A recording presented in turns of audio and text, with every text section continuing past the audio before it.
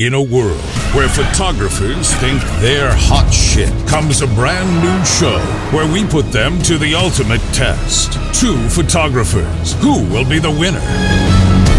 Photography Wars, coming soon.